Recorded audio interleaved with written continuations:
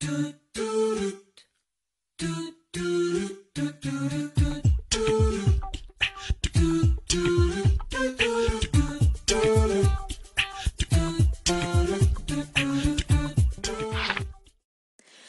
السلام عليكم ورحمة الله وبركاته. أهلا بكل متابعين مطبخ نونا معاكم نونا الحجاري النهاردة بإذن الله هنكمل معاكم سلسلة الخضار المجمد. عملت قبل كده الملوخية والقلقاس والسبانخ والبامية. النهاردة إن شاء الله هعمل معاكم البسلة. البسلة سادة من غير آه، جزر ومن غير بطاطس. لو حابين تضيفوا جزر وبطاطس مفيش أي مشكلة هقول لكم وإحنا شغالين.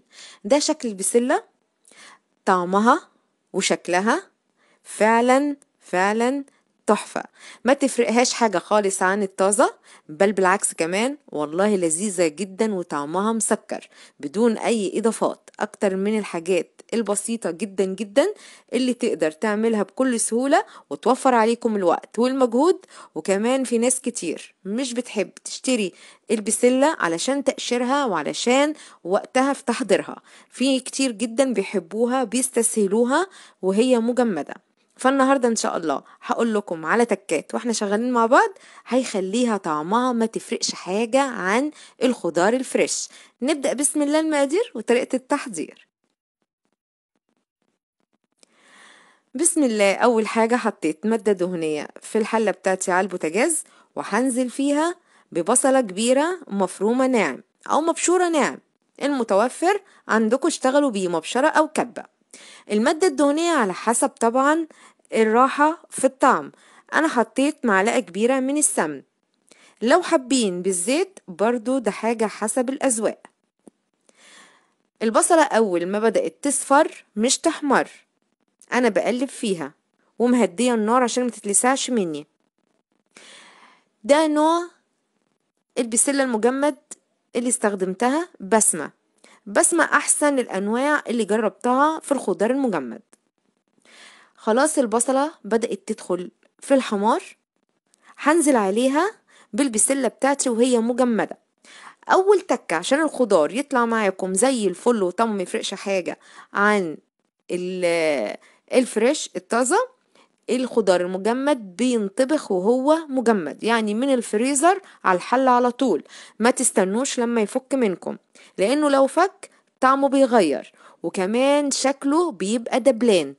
تلاقوا كده مثلا لو بسلة هتلاقوا الحباية بدأت تجلد وتكرمش وإحنا مش عايزين ده إحنا عايزين الأكل بتاعنا يبقى واخد طعم وشكل ولون الأكل الطازة.